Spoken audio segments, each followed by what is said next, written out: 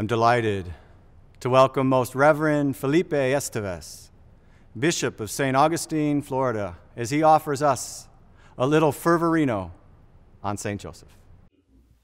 I welcome the invitation of Bishop David Ricken of Green Bay uh, to share some of the graces in the year of St. Joseph, uh, restore our hope, go to St. Joseph.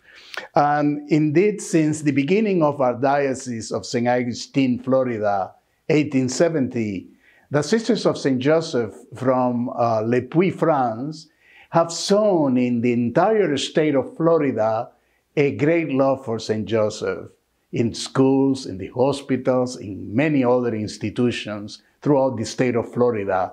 So, in a way, the year of St. Joseph has rekindled that love for St. Joseph that is spread throughout the entire state of Florida. But also the, past, the letter that Pope Francis wrote uh, for the year of St. Joseph, Patris Cordis, has been magnificent. Those seven points on the fatherhood of Joseph it has been internalized by our priests, read by so many of us. And we have been doing consecrations to St. Joseph at the seminary, at the gatherings of priests, retreats, at gathering in, in our parishes.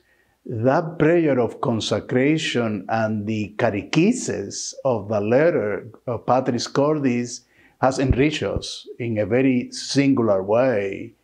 But also, I, I should say that uh, the diocese has been praying the prayer to St. Joseph, and our media, our communications office, have been publishing articles and um, images, uh, the, the, rich art on St. Joseph, uh, and um, the Diocese of Venice has Bishop Frank Dewane has also promoted in catechesis and in his priests' retreats uh, the year of St. Joseph. So the whole state of Florida, in the major institution of the Florida Catholic Conference and the seminaries, um, this have been this has had a great momentum. As a matter of fact, at the personal level, I have been enriched by the reflections of those seven points. I have been enriched in praying the mysteries of the Rosary, uh, particularly the mysteries of uh, the infancy of Jesus, um, more with Saint Joseph. Is Mary and Joseph, the Holy Family, and, and also the uh, the celebration of masses, uh, votive masses for St. Joseph, and we intend to plan very especially the Feast of St. Joseph on March 19 and May 1st. Thank you, Bishop David Ricken, for inviting us to share these um, experiences on the year of St. Joseph. And like you, we say, restore our hope. Go to St. Joseph.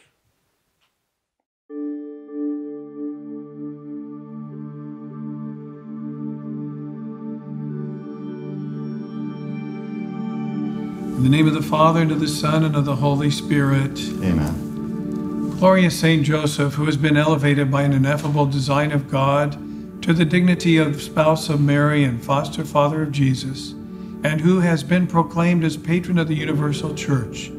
With joy we kneel before you to thank God for the privileges bestowed upon you, and also for the dignity to which he has raised you among all men. Blessed are you because you have consoled, assisted, and protected the august Virgin Mary, your immaculate spouse. Blessed are you because you have devoted yourself to our divine Redeemer Jesus, sparing no trouble to clothe him, to protect him against the snares of his enemies, to save him for the salvation of the world. Blessed are you because you have always been the consoler, the defender, and the supporter of the church in its trials. Blessed are you because no one has ever had recourse to your protection or implored your aid without obtaining relief.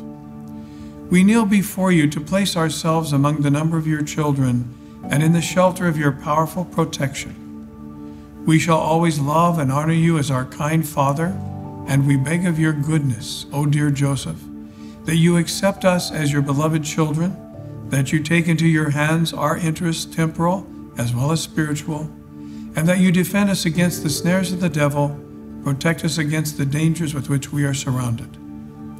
Direct us, O most loving Father, to the love of the divine heart of Jesus, to an unswavering fidelity to the Holy Church, to a filial affection for the Blessed Virgin, our Mother, so that by your help we may enter heaven to glorify God together with you during all eternity.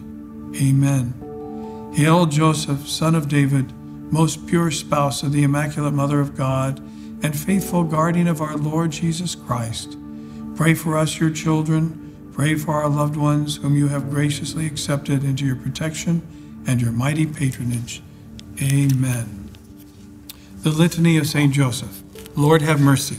Lord, have mercy. Christ have mercy. Christ, have mercy. Lord have mercy. Lord, have mercy. Christ hear us. Christ, graciously hear us. God the Father of heaven, Have mercy on us. God the Son, Redeemer of the world, Have mercy on us. God the Holy Spirit, Have mercy on us. Holy Trinity, one God, Have mercy on us. Holy Mary, Pray for us. Holy Fathers Norbert and Augustine, Pray for us. Saint Joseph, Pray for us.